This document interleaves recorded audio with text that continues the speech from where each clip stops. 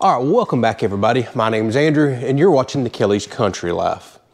So it's been quite a while since we've did any sort of update or modifications to our homemade ice maker. And as you can see, I've gotten a little fatter. These shirts don't fit as good anymore and the shop's a lot junkier. So I've kind of had to get away from fun projects like this and build because a lot of y'all are still hanging around on the channel and have seen that I have been building our house for the last 13 months. We're getting close to moving in. That'll free up some time, although I still have a ton of projects to do out there around the house, which I'm including on the channel. But it's springtime. It's about to be boating season. I need ice. I need ice bad. So we've had some things happen over the winter time with the ice maker. As of right now, it is not operational. I have had two ice maker failures. So if you're new to the channel or just stumbling across this video, you may want to go back and watch all the original builds and series of this. I took a deep freezer, put ice makers in it from refrigerators, and basically turned myself into a ice maker out here for the shop that stores a couple hundred pounds of it it's been a highly watched series, literally a few million views on those videos. So I've actually had a couple of failures over the wintertime. I had zero issues last year, all through the summer when I was using this, constantly scooping ice, no problems at all. One thing that happened, I had one of my ice makers overfill uh, last fall, last winter. I wasn't really using this much. It was filled all the way up. Um, and my last original ice maker that my friend has, he claims he had an overfill as well here recently. So I'm starting to wonder if during the wintertime when we're not using these as much, allowing them to get to super cold temperatures, if uh, basically we're just working the ice makers too hard or having the mechanism freeze up that actually tells, well, the valve when to kick off or on. So keep that in mind if you decide to build one of these things. Well, it could actually overfill. My second ice maker recently failed. It is all my fault. I have fans right here that were shoved in a bit too far. There is a metal bar mechanism that lifts up and on to tell the ice maker when to shut off should it actually fill up. And I didn't pay attention one day. I was scooping some ice out of here, closed it and apparently bumped the fans right into the bar. It was hung halfway up in there kind of clicking it off and on and apparently just wore out the teeth on one of the plastic gears. So I have ordered two new ice makers.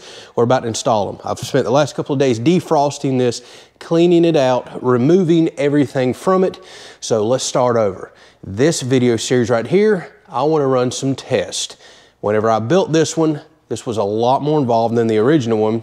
Kind of got disappointing results. It was about the same amount of production, maybe slightly less than the original. And a lot of people were saying, hey, I've put two high powered fans in here. You may just be moving too much air velocity. You need to play with that because if we've noticed in the last several sets of tests that we've done, air velocity is key. Adding air movement in here really kicked up the ice production dramatically. But with that said, too much of a good thing may be a bad thing.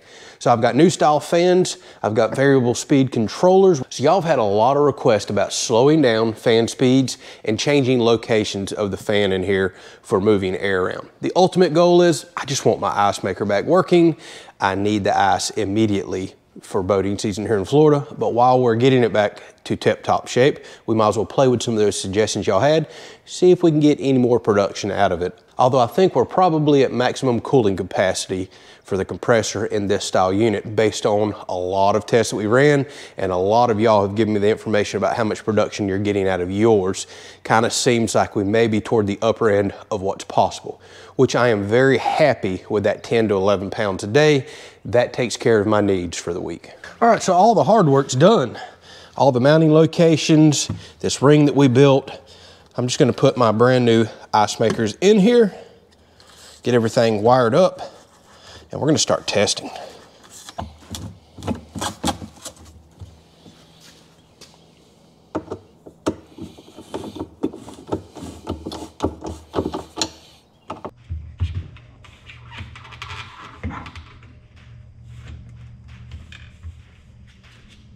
All right, so here's kind of my thought process. I got a different style fan this is actually a flat mount fan, so it pulls in air from this side and exhausts it out this port right here. This one also has a variable speed controller, so I can kick it on low. I can run it up to where it puts off a significant amount of air. but we're more curious about the, uh, the low speed setting right here. Now I really only want to use one fan because the whole point of this test is to get air velocity down. I'm thinking somewhere over in this area, mounted to the roof. Now you can see where I'm going with this. I really want roof mounted out of the way, do something nice and neat with the wires, have them run out the back. So now when I lift the lid up, there is no fans, nothing in the way because this is what I've been using. I've been using two very high powered fans. These are computer style fans from Cooler Guys. And I've just had them on a bar out here. And I've thought about mounting the bar up here to the lid so when you lift up, these come out of the way. And that still may be what I'll wind up doing. But I want to get away from this because now every time I come out here to scoop ice, I have to put these up here out of the way and then I have to put them back. And that's how I damaged my last ice maker or one of these trip bars was right in the middle of its cycle and I pushed the fan up in it, didn't realize and it just sat there trying to drop, trying to go around and uh, locked it up basically. So we still may wind up running this style fan, but I don't really want them sticking out in the way as I'm scooping ice. I think this flat mount is gonna work great, assuming they actually hold up to freezing temperatures. These Cooler Guy fans, I haven't had a single failure, no problem. After, heck, I've been running them in this now going on a year since I built the first one no failures. They can handle the zero degree temperature perfectly fine.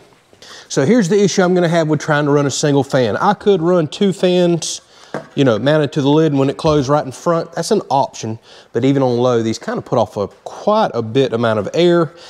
And again, I just don't know that that's what I wanna do with two of these right here blasting on it. Plus, if we can get away with only spending money on one, the whole point of this freezer build was to have the convenience of ice at home, but not break the bank either. Otherwise, I'd have done bought a 2,000 or $3,000 Manitowoc unit and had all the ice that I needed out here.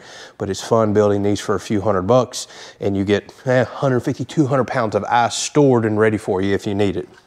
So if I wind up mounting it over here, it's gonna blow straight towards you. It's not gonna blow over toward these ice makers. So I'm gonna make a quick little diffuser that'll connect to the top and kind of shoot off this direction. Yes, I could mount the fan like this. Doesn't look the world's best. And have it to where it'll blow toward at least one of the ice makers, but there's really no good way to hit both of them with a single fan unless I make some sort of diffuser. So let's do that. So this here is called ABS sheet. And this stuff is way too thick for what I'm trying to do. I wish I had some eighth inch thick stuff. All I have is 3 16ths, but I always keep some of this around. It used to be relatively cheap. Everything is through the roof right now. You can cut it, score it with a razor knife, bend it, break it, heat it with a heat gun, change the shape. I used to use this stuff all the time back when I owned an automotive uh, accessory business. We would build stuff out of this constantly. So I'm thinking I'm gonna cut me a little tab, make me a diffuser to go right in front of this, and it'll be mounted with a single screw so I can actually change the angle of deflection over the air and kind of fine tune it, getting it toward the ice maker. May even wind up making two. That's the whole point of experimenting playing right here. Let's figure out what we want to do.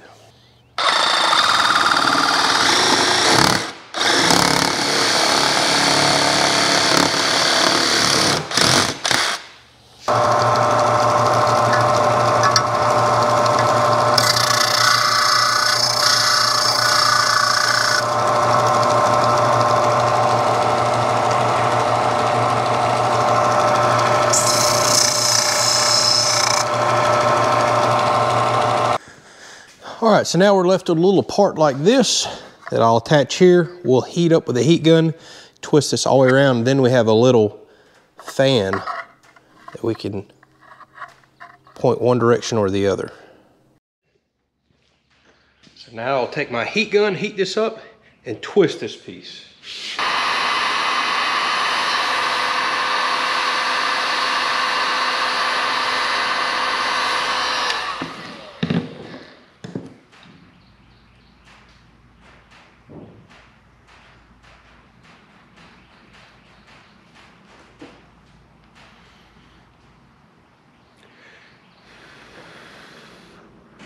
Now you can see how nice this stuff bends and twists with heat. As soon as it cools off, it's locked into place. All right, so now we have an adjustable damper, deflection plate, whatever you want to call it. And I can deflect and split the air as well. Can always build a second one of these. I could make one that'll have two dampers on it. I, I can play around with this all that I want. Now I specifically made for sure this would not go up any higher than the fan because if I mount this to the actual lid, I need this to still be able to swing freely for adjustment. All right, let's plug this in. Let's see if it works as intended. Yes, yes it does. It is moving air in two different directions. So most people in the comments seem to agree that any sort of air movement, whether it's directly at the ice makers or just stirring and mixing air up, bringing cool air from the bottom, washing out that hot air that you just introduced by opening it, they're saying that's what's really gonna make the difference. So we're gonna find out with this very simple test. Now I don't have anything in the lid, no wiring, no heat strips, nothing like that. So I'm gonna go ahead and mount this to the lid.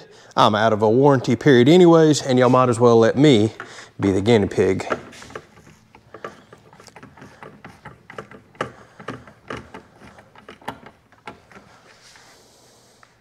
All right, get this damper adjusted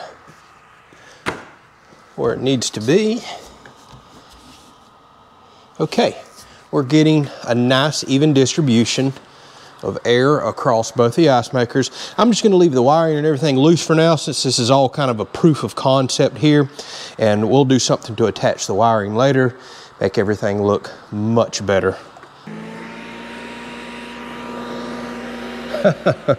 this little fan kicks out some air. So we can go all the way from the low end to the high end with a single fan. I really like that. All right, so here's what we're gonna do. I'm going to wire up both of these brand new ice makers. I'm gonna plug this in. I'm gonna let this chill for 24 hours. We're gonna monitor the temperature. We're gonna collect the ice tomorrow that it made, toss out. Then we're gonna start our testing. We'll play with locations of the fan, the damper. We may move up to two fans. We move may move back to these other style fans. We already have data with those, so we might as well play with this. But most importantly, we'll start out on a low setting, a medium setting, and maybe ramp it all the way up to a high setting and see if we see an increase in ice production with an increase in velocity of the air movement as well. Let's find out. See y'all back tomorrow. All right, so it is next morning and I'm coming out here to check on the ice maker itself. We'll go ahead and clean it out, see what ice that it's made, and then we'll start our official 24 hour testing. Now I like to run two 24 hour tests anytime I make a change and then average the numbers together because you just don't know at what point that you come out here in the shop and the ice maker's just dumped just refilled or maybe getting close to dumping. So if I take two 24 hour tests, average them together, that's kind of much more of an accurate representation of what we're gonna make. Now, realistically, going five or seven days would probably be even better, but for the nature of this fun test, two tests is perfectly fine.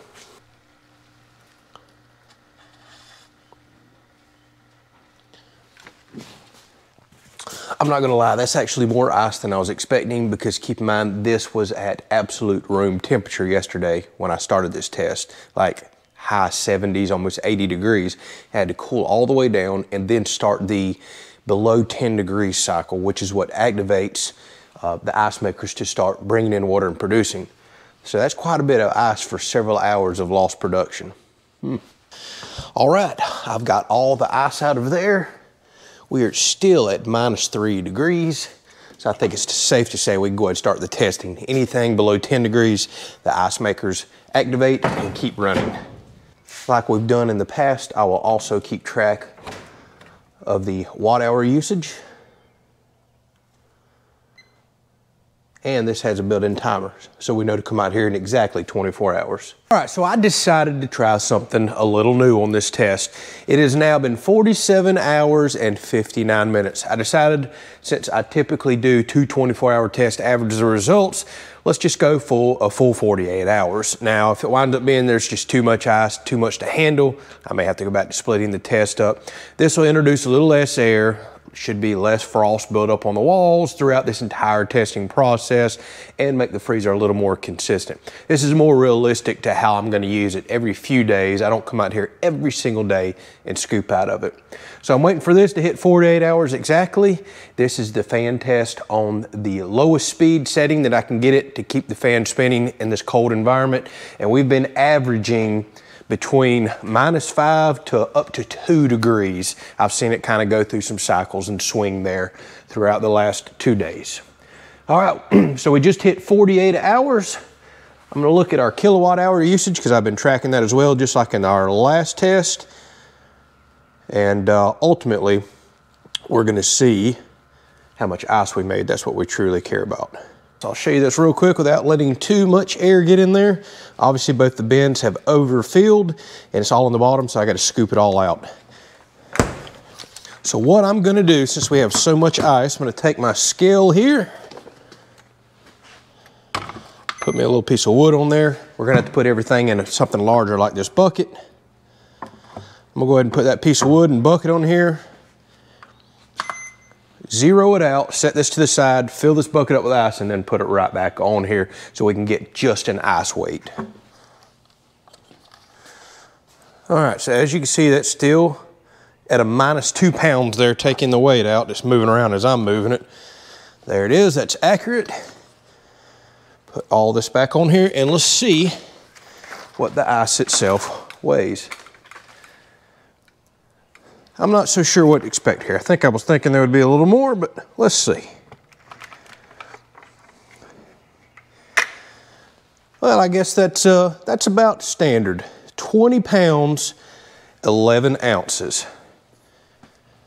So we made almost a little less than 10 and a half pounds a day. Not bad. So 20 pounds, 11 ounces for a 48 hour test. That's a little lower than what we've been running in the past, but right in the ballpark. We've been kind of averaging around 11 pounds. Um, actually, looking back at the last test results, there was a lot of 10, 10 and a half pound days. So we're right there on average where we've been. So to keep this test fair, I'm gonna go dump this ice in the cooler. We're not gonna increase or decrease the thermal mass in this cooler. We wanna keep things nice and consistent. And I am going to bump the speed controller up to medium for this fan. So we're gonna dramatically increase the, uh, the fan velocity. We're not gonna change any other variables, the position of the fan, nothing. And we're gonna see if a simple increase in speed gets us a little more production right there. Just so y'all know, we're still showing minus one degrees in there. Opening it to pull the ice out made practically no change in the temperature. That's still plenty low enough to activate and trigger the ice makers. So let me reset this kilowatt meter, everything else, and uh, I guess I'll see y'all back in 48 hours again for the medium fan speed test. All right, so it has now been 48 hours for the medium speed fan test. And I don't know if y'all can hear this, but it's kicking out a lot more air velocity. Going from low to medium on the speed controller really has this thing ramped up. So I'm curious if an increase in velocity or air speed is really gonna increase ice production that much.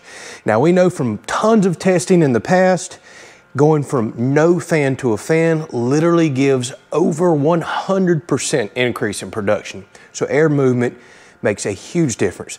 But does going from slow, medium to high speed make a lot of a difference? Well, that's what we're testing.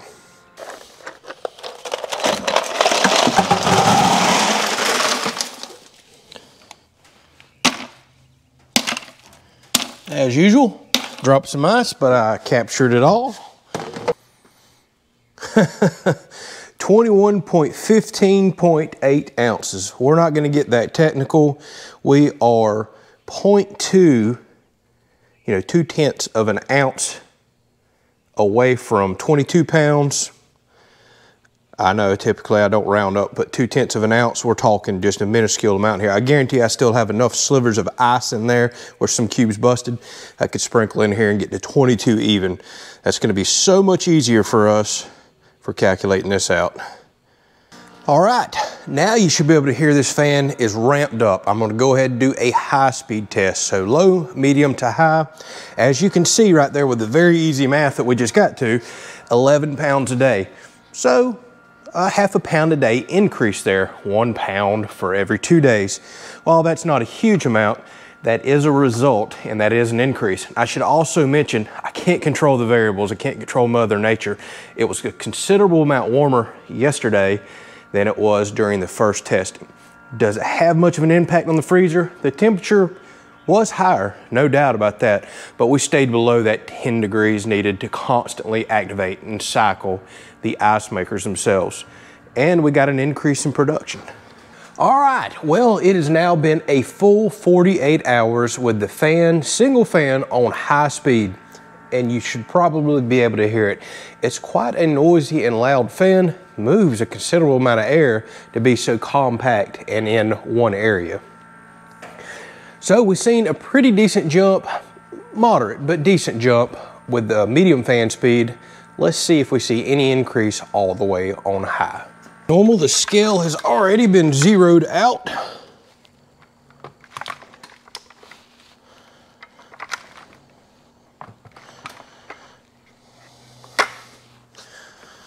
Twenty pounds, 13.3 ounces. So we'll just say 20 pounds, 13 ounces.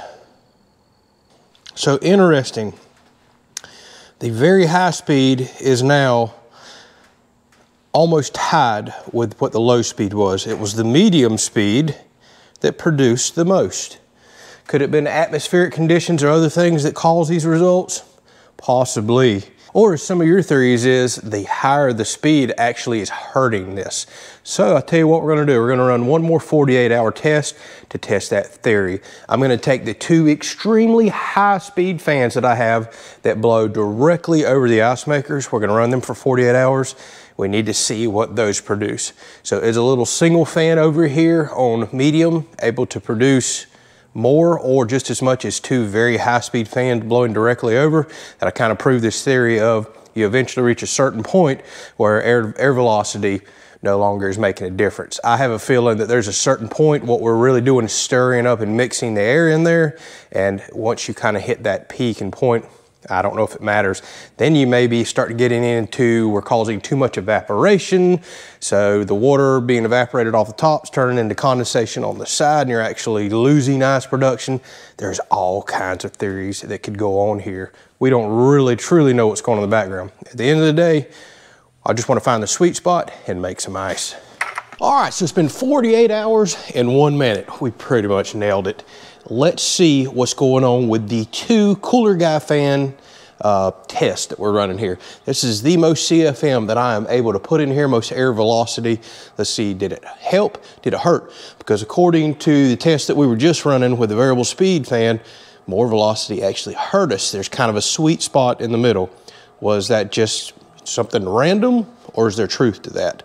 Let's see.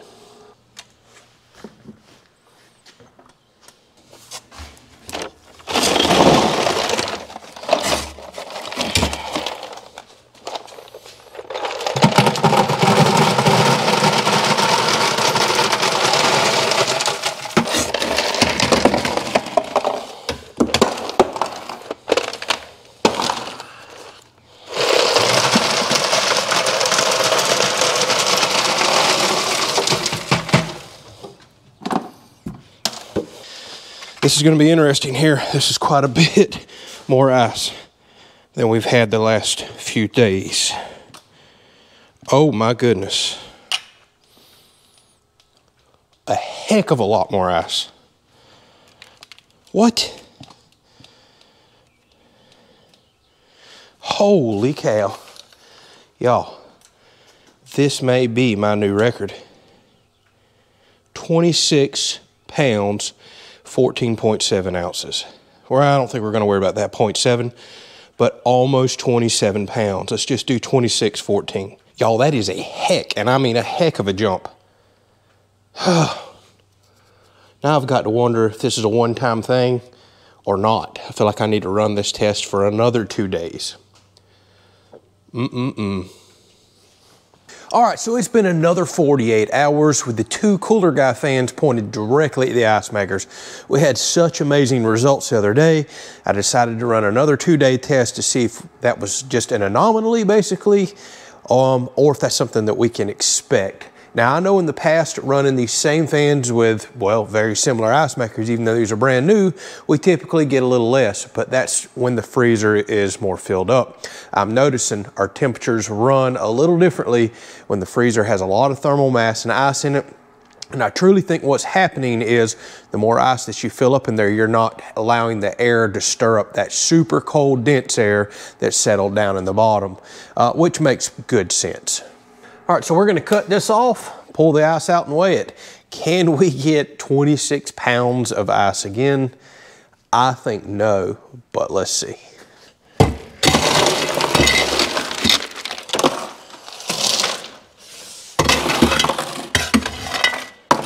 All right, my suspicions appear to be correct. While this is an amazing amount of ice, it is not as mounded up as it was two days ago.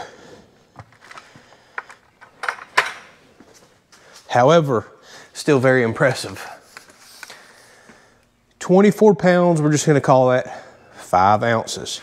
Very respectable and an excellent number. So as we've seen in the past, we do get some swings and inconsistencies in numbers no matter how long we run these tests. And most likely what it has to do is, well, Mother Nature, the weather variables, things that are just out of our control. Certain days it'll be overcast and rainy. Certain days, well, it's 86 degrees down here in Florida. Hot, temperature radiating off the building, plus incoming water temperature is affected. And we've run chilled water tests before and seen, I think it was somewhere between a 7 and 9% increase alone just on incoming water temperature. Then if you factor that in, well, we're in a hot shop, we're putting this under load. Um, yeah, I can see how there can be some swings like we're seeing. But with that said, well, the cooler guy fans are giving us the most ice. So the higher air velocity and directing it directly at it is giving us the highest poundage per day out of all these tests that we've run thus far. So it answers the question that, yeah, higher air velocity does make a difference. Now I'm gonna run one more 48 hour test right here. Uh, I probably should have started with this, but I'm genuinely curious because it's been quite some time since we've run the test with no fans. So this will give you an idea of how much you can expect to produce with no fans at all. And from what I remember in the past, it was a huge, and I mean significant difference. So let's take a look at that versus the fans that we've tested thus far. All right, so it has now been 48 hours with zero fans, nothing. And I probably should have started the test like this to have a good baseline, but at least we're getting those numbers now. And for people that's wondering what the heck all this fan testing is about, I wanna show you, even though I haven't looked in here yet, the difference that fans makes. No other modifications have been made, same ice maker, same incoming water, everything. All we've done is taken fans out of the equation here and I bet you we're gonna see a huge difference in ice production. a comical difference.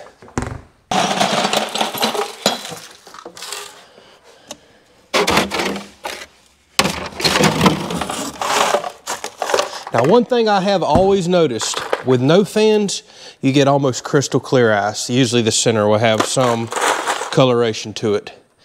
With fans, it's always milky, I guess because of the constant uh, wind speed and all going over there. It agitates water, which what most people say agitated water freezes clear. That doesn't seem to be the case. All right, y'all ready for this? I kid y'all not. This is actually a lot less than I was thinking. It's been so long since I did a no fan test. Wow. Check that out almost six pounds even, three pounds a day with no fans. Three pounds a day versus, I think our worst test this run was 10 pounds a day, and we had two days where we got 13 pounds a day. Adding a fan makes a world of difference, a significant difference. Any kind of fan, just move that air around in there. Now, the one thing I will notice and say with no fans, yesterday even though it's a little higher now, it was staying at like minus 14 degrees. The temperature is much colder in the bottom. that's the key. That's what's critical about any sort of fan movement in there. You're getting stratification in there. So you're getting warm air up top, heat rises, you're getting cold air down low, and that fan, any sort of fan movement in there is bringing that super cold air up to the ice makers where it needs to be. If we could put these ice makers down in the very bottom, our ice production would probably go through the roof to the point that we'd probably destroy these plastic geared things. They'd be kicking out so much ice.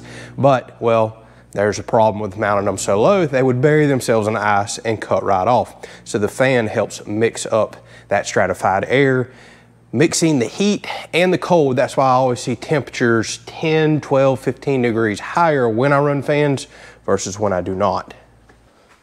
All right, so now what does this mean moving forward? I have to choose a design on fans. I want something that's a little cleaner than what I have, and we need to go ahead and get those mounted out of the way and working properly. And I ain't gonna lie, I'm on the fence about do I go with the very powerful Cooler fans that are giving me excellent ice production, or do I go with a small single fan that's out of the way, it's variable speed, I can kind of control production within a pound or two a day. Um, I just don't know you know, the, the logical thing says, hey, make the most ice you can and get that. But any of these fans are actually outproducing what I take from this a week. Unless I have a week where I go saltwater fishing, then I can take 80 to 100 pounds at a time. It's just not as often here lately as I would like. Typically, I'm pulling out maybe 20, 30 plus pounds of ice a week. And no matter what fan I put in here, I'm always gonna be at a surplus.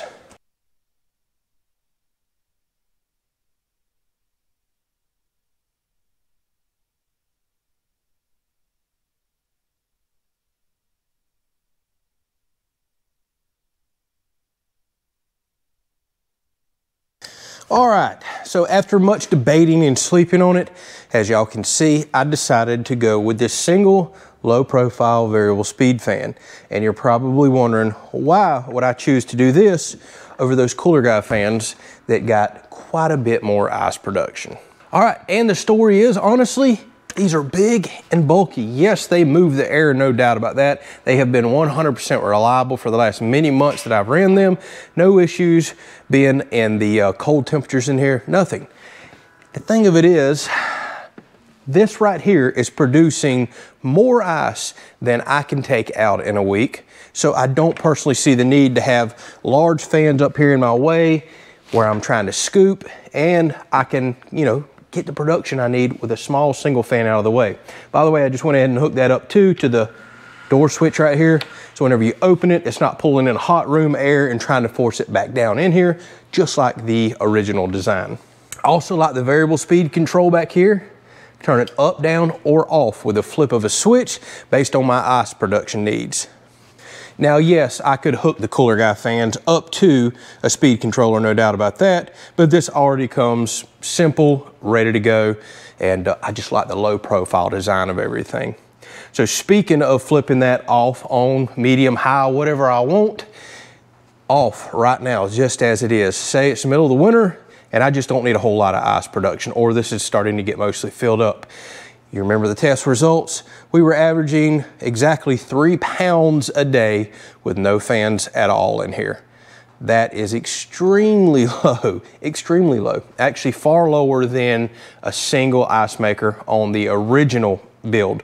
But I still think us adding this collar, this extra dead airspace in there that has no coils in it is really hindering the freezer. I think there's more production to get out of a freezer without the collar. But don't forget the whole point of building this collar was zero modifications, cutting into a freezer, nothing. You're just lifting the lid up. That's a nice safe build to do right here.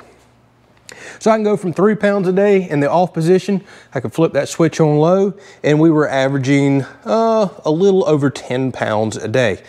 That's a heck of an increase, y'all. A heck of an increase to go from three to 10 plus pounds with that fan on low. When I threw it in the medium position, sped it up a little, a little more airspeed in there, we averaged 11 pounds a day. Now we're talking. That's 77 pounds a week right there. I personally take out 20 to 30 on any given week, so that's outpacing me by a huge margin.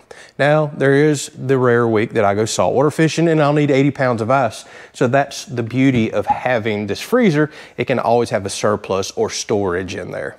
Now, when we went to high fan speed, eh, we got some odd results. It actually dropped down about a half a pound a day. Don't know what went on there, but we see odd test results like that from time to time. So 10 and a half to 11 pounds a day, a day seems to be easily achievable with this low profile, out of the way fan based on where I have this setting. Actually, we can say anywhere from three to 10 and a half to 11 pounds a day. Flip of the switch, you're off. So I love being able to vary production like that. And again, the low profile design, it's hard to beat. That's the reason why I chose to go with this. Now, the Cooler Guy fans, yeah, first test got us almost 27 pounds in two days. Think about that, almost 13 and a half pounds a day, which is a record for me. I hit 13 once before in some previous testing, but I could never duplicate it again. This did it two days in a row. So I decided to run another two-day test just to see if something odd was going on. And it did drop, but we're still 24 pounds, five ounces, so over 12 pounds a day. So somewhere between the 12 to 13 plus pound a day range. That's a lot of ice production in a week you can get with those cooler guy fans over there. So yes, airspeed, it absolutely does determine how much ice production you get, your air velocity. That was the whole reason we run this test here. I don't want to beat a dead horse doing this testing over and over and over, but it was enough of a comment and request in the comment section, I decided I would try it. So long story short, I think I have found what I need. I think I'm gonna get longer longevity out of my ice makers with a low speed fan over here in the corner instead of freezing them hard and blowing uh, that cold air out over them. I have noticed also with the cooler guy fans blowing directly over the ice makers, occasionally I'll see some ice build up on the back wall and I'm almost wondering if either excessive evaporation is happening or if I'm blowing water out of the ice trays themselves. And I have seen some ice maker failures as well due to overfilling and freezing those ice fingers in there. So my mind and my gut tells me this lower speed fan over here with slightly less production is not gonna blow any water out. It's not gonna make any ice clumps beneath the ice makers and it very well may keep them from freezing up, but we're still getting excellent production. So that's why I've decided to no longer push the limit and just try to run these to the absolute max. I think if we back off, I'm still getting all the production needs that I need, a nice clean install on the inside, and I think I'll increase longevity. Uh, the other beautiful thing about this is, hey, we went wild on version 2.0 here when we first built it. Drop tubes pulling cold air off the bottom. No doubt we could probably push this thing more toward 14 pounds a day, but this just made the build of this very reasonably priced. All I have is one fan with a speed control on the back, none of that other stuff that I originally had, and built the collar. It doesn't get much more simple than that. No need and all the other electronic components that we had with the original version 2.0 build. Now, I'm not, I will not confirm or deny that I'll ever build a version 3.0. We'll just call, call it that. So I may down the road on the channel if uh, the bug bites me, but I have so many other projects I want to do. If you are watching the channel, you know the house is priority right now, and I have some very fun projects and builds coming up on the house. Um, other things around the property. I have some solar projects I want to build out here at the shop. So, like I said, we're just not going to probably continue to beat a dead horse with the ice machine here, but if y'all do have an awesome suggestion or something worth trying, oh, I'll absolutely revisit it. No problem at all. So thank y'all so much for watching. This has been an awesome ride. Now it's time to let this thing work. It's springtime here in Florida. It's boating season. I need this to start pumping out the ice. So I'm about to kick the fan on and we're gonna let it fill up. Thanks for watching.